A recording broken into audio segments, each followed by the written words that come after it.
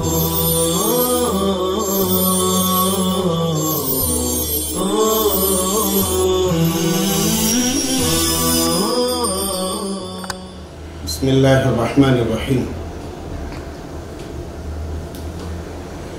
हम आज के इस चौथे दर्स में बसमीम यानी तस्मिया के कुछ बाकी हिस्से को पेश करने जा रहे हैं। और उसके बाद फिर इन सूरत और आयत की तहकीक से मुतल मुख्तसर गुफ्तु करेंगे। हमारी गुफ्तु चल रही थी हज़रत शाह अब्दुल अज़ीज़ साहब रहमत के कौल से मुतक और उसी गुफ्तु का हिस्सा है कि मुशरकिन हर काम बुतों के नाम से शुरू करते थे। मुशरकिन हर काम बुतों के नाम से शुरू करते थे इस रस्म जाहिलियत को मिटाने के लिए, इस रस्म जाहिलियत को मिटाने के लिए हुक्म दिया गया कि इकरा बिस्म रब्बिक, इकरा बिस्म रब्बिक। अहादीस में भी हर काम की इब्तदा में बिस्मिल्लाह की ताकीद की गई है। जैसे हमने आपको तीसरे दरसे में हदीस पेश की, जिसमें अल्लाह के नबी सल्लल्लाहु अलैहि वसल्लम फरमाते हैं, कुल्लु अमरिन दीबारिन लम युबदा बिस्मिल्लाह फवअक्ता हरत शाह साहब, शाह अब्दुल अज़ीज़ साहब रहमतुल्लाह फरमाते हैं कि बिस्मिल्लाह के अंदर असमाए हुसना में से तीन नाम लाने की बज़ाहिर ये हिकमत मालूम होती है। क्या फरमाते हैं कि बिस्मिल्लाह के अंदर असमाए हुसना में से तीन नाम लाने की बज़ाहिर ये हिकमत मालूम होती है कि हर काम की तकमील के लिए, हर काम की तकमील के लिए तीन उमूर की ज़रूरत दरपेश होती है। नंबर एक, सामान की मौजूदगी। किसी भी काम की तकमील के लिए जो तीन उमूर की ज़रूरत पेश आती है, उनमें सबसे पहले क्या है? सामान की मौजूदगी। दूसरे नंबर पर, सामान मौजूद होने के बाद ज़ाय न हो। सामान मौजूद होने के बाद ज़ाय न हो। और तीसरे नंबर पर, सामान की तरतीब ऐसे अंदाज से हो सामान की तरतीब ऐसे अंदाज से हो को ज़ाय न हो सके और मकसद हासिल हो जाए। सामान ज़ाय न हो सके और मकसद हासिल हो जाए। लफ्ज रहमान की बरकत से, लफ्ज रहमान की बरकत से मौजूद होने के बाद सामान बाकी भी है। सामान मौजूद होने के बाद सामान बाकी भी है। लफ्ज रहीम की बरकत से, लफ्ज रहीम की बरकत से ऐसी तरतीब व तरकीब जहन में आएगी।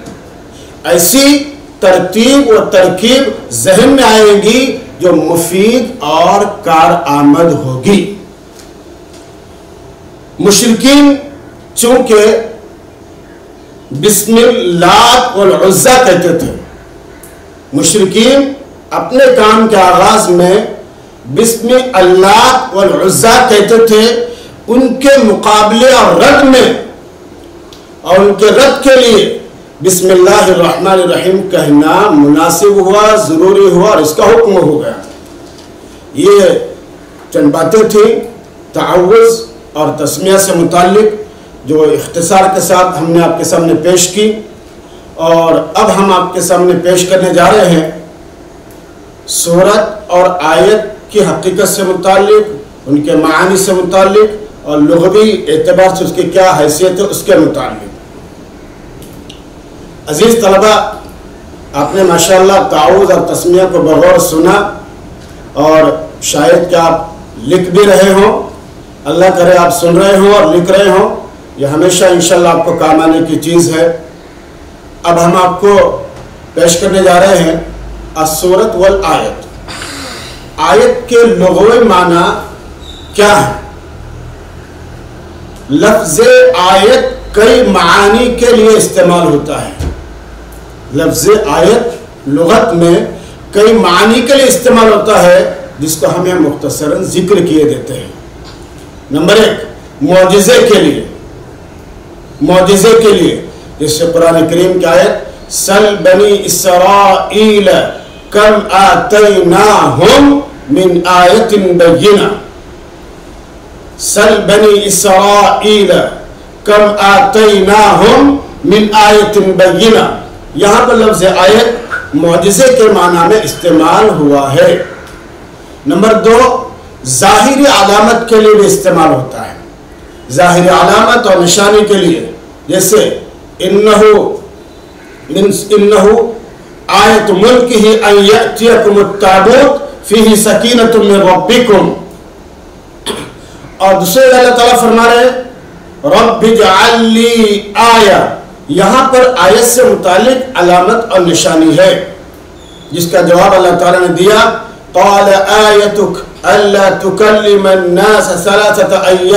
इल्ला रमजा नंबर तीन आयत एक अमर अजीब के लिए भी इस्तेमाल होता है ताजुब खेज मामले के लिए भी इस्तेमाल होता है जैसे कुरान करीम ने फरमाया आयतन आयतन और चौथे नंबर पर इबरत के लिए भी इस्तेमाल होता है। लफ्ज आयत, इबरत के लिए भी इस्तेमाल होता है जिससे कुरान करीम ने फरमाया इन नफी आया इन नफी आया और पाँचवें नंबर पर लफ्ज आयत, निशानी और दलील के लिए भी इस्तेमाल होता है। निशानी और दलील के लिए, जैसे, वमिन आयाति ही खल्क़ुस्समावाति वल अर्द। कुरान करीम की आयत वमिन आयातिही खल्क़ुस्समावाति वल अर्द वख्तिलाफ़ुल्लैल वन और नंबर छः जमात के माना में भी इस्तेमाल होता है लफ्ज़ आयत जमात के माना में भी इस्तेमाल होता है जैसे अरब का कौल खरजल कौम बेआयतिहिम खरजल कौम बेआयतिहिम ऐ जमाअतिहिम कुरान करीम में ये छह लगवी माना लफ्ज आयत से मुतालिक हैं और मुफसरीन ने इस और लगवीन ने इससे ज़्यादा की तरफ़ इशारा किया है और एक लफ्ज़ के कई कई मानी इस्तेमाल हो सकते हैं लेकिन हमने आपके तफहीम और आपकी ज़रूरत के अतबार से ये चंद मानी का इस्तेमाल आपको बताया कुरान करीम में आयत से मुराद। कुरान करीम में आयत से मुराद। ये तो लगवी माना हुआ। अब कुरान करीम में आयत से क्या मुराद है? कुरान का कोई हिस्सा या टुकड़ा जो अपने माकबल और माबाद से मुनता हो, कुरान का कोई हिस्सा या टुकड़ा जो अपने माकबल और माबाद से मुनता हो आयात की तरतीब तौकीफ़ी है। आयात की तरतीब तौकीफ़ी है, यानी हजर पाक सल्लल्लाहु अलैहि वसल्लम के ज़रिए ही मालूम हो सकती है। और आपको अल्लाह की तरफ़ से मालूम होता है। आयत को आयत इस वजह से भी कहा जाता है। आयत को आयत इस वजह से भी कहा जाता है कि एक अलामत होती है कलाम को माकबल और माबाद से अलग करने की। आयत को आयत इस वजह से भी कहा जाता है कि आयत एक अलामत होती है कलाम को माकबल और माबाद से अलग करने की। अपने एतबार से एक मुस्तकिल कलाम होती है। आयत अपने एतबार से एक मुस्तकिल कलाम होती है।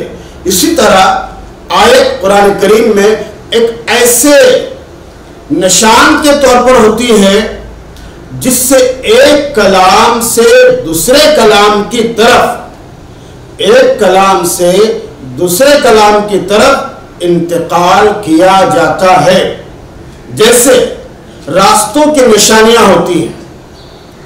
जब इंसान सफ़र करता है और मुख्तलिफ़ जहद के रास्ते उसके सामने आते हैं तो कभी कहीं मुड़ना पड़ता है, कभी कहीं मुड़ना पड़ता है तो मुड़ने की जगहों पर निशानियाँ होती हैं। और इंसान उन निशानियों के ज़रिए मुड़ता है तो सही मंजिल तक पहुँचने की कोशिश करता है। तो जैसे रास्तों की निशानियाँ, जिनसे रास्ता मालूम होता है, और आयत को इसलिए भी आयत कहा जाता है। आयत को इसलिए भी आयत कहा जाता है कि हरूफ वो अल्फाज की एक जमात होती हो।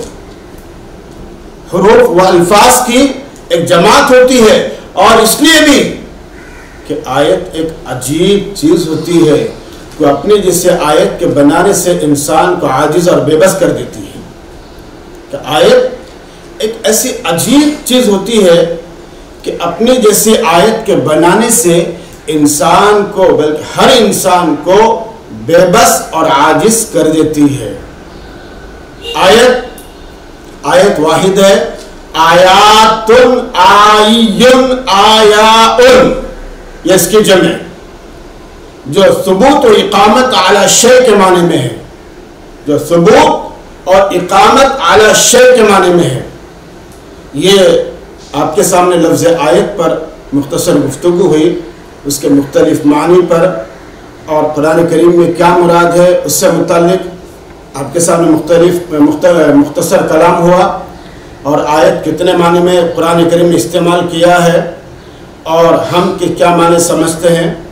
अब इसके बाद मुख्तसर कलाम इन हम करेंगे लफ्ज़ सूरत से मुतल सूरत। इबन फारस रहमत कहते हैं कि उसके अस्क सूरुन है। सूरुन जो बुलंदी पर दलालत करता है। लफ्ज सूरत के इस्तेमाल में दो कौल है। लफ्ज सूरत के इस्तेमाल में दो कौल है। एक एक हमजा के साथ है असुरतु असुरतु और दूसरे बगैर हमजा के, और यही मशहूर भी है, यानी बगैर हमजा के यही मशहूर भी है। बहरहाल, पहला तो वो मुश्तक है अस अरुण से, और अस अरुण के माने अरुण के माने है बाकी बाकी रहने की चीज़, बाकी रहने के माना में।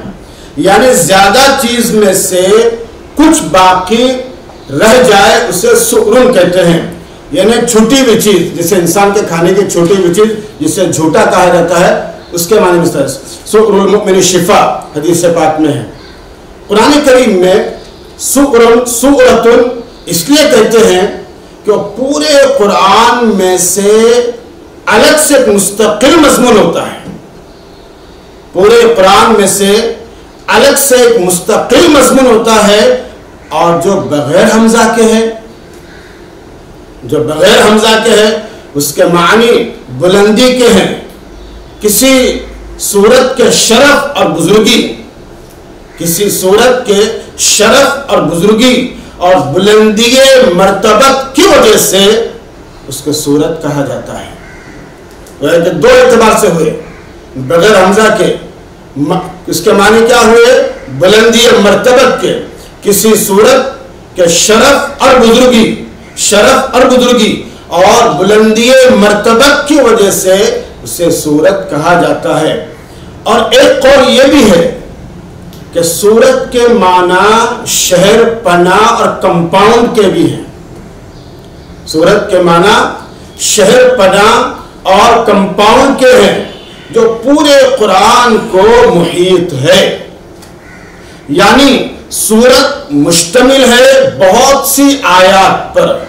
सूरत मुश्तमिल है बहुत सी आयात पर। और आयतों ने आयतों ने पूरी सूरत को शहर पना की तरह घेर रखा है। आयतों ने पूरी सूरत को शहर पना की तरह घेर रखा है और सूरत को सूरत उसके कमाल और शरफ और एजाज की वजह से भी कहा जाता है। उसके कमाल, शरफ और एजाज की वजह से भी कहा जाता है, जिसकी जमा सुवरुन सुवरुन सुरातुन सूरातुन तीन जमे हैं सुवरुन सुरातुन सूरातुन लफ्ज सूरत लफ्ज सूरत सिर्फ़ कुरान करीम के लिए बोला जाता है। जो मुश्तमिल है, चंद आयात पर। लफ्ज सूरत सिर्फ़ कुरान करीम के लिए बोला जाता है और जो मुश्तमिल है, चंद आयात पर, जिसका आगाज़ भी है और इंतहा भी। जिसका आगाज़ भी है और इंतहा भी। अल्लाह ताला ने अपने पूरे कलाम को कुरान से ताबीर फरमाया। अल्लाह ताला ने अपने पूरे कलाम को कुरान से ताबीर फरमाया। जैसे अरब जैसे अरब ने अपने कलाम को दीवान से मौसूम किया था। अरब ने अपने कलाम को दीवान से मौसूम किया अल्लाह ने अपने पूरे कलाम को कुरान से ताबीर फरमाया। बस कुरान का बाज सूरत है, जैसे दीवान का बाज कसीदा सूरत का बाज, कुरान का बाज सूरत है, जैसे दीवान का बाज कसीदा है। और सूरत का बाज आयत है। सूरत का बाज आयत है जैसे कसीदे का बाज मिसरा है। कसीदे का बाज मिसरा है और आयत का आखिर फासला कहा जाता है। आयत के आखिरी हिस्से को फासला कहा जाता है, जैसे शेर का आखिरी हिस्से को काफिया कहा जाता है। जैसे शेर के आखिरी हिस्से को काफिया कहा जाता है। तो ये आज हमने आपके सामने अल्हम्दुलिल्लाह, ताउस, तस्मिया से मुतल भी मुकम्मल गुफ्तु की इख्तसार के साथ और साथ ही सूरत और आयत के माना लघवी माना असलाही माना और कुरान करीम में इनसे, इनको क्या ताबीर किया जाता है, इससे मुतल भी मुख्तर गुफ्तु आ गई है। गोया के तर्जमे से मुतल जो मबादियात होने चाहिए थे, वो किसी हद तक हमने मुकम्मल करने की कोशिश की है। और इन अब आइंदा अल्लाह ने चाहा तो सबक का आगाज़ कर देंगे। अल्लाह मुझे और आपको अमल की तोफ़ी अता फ़रमाए। व आखिर दावाना अलहमदिल्ला रबालमी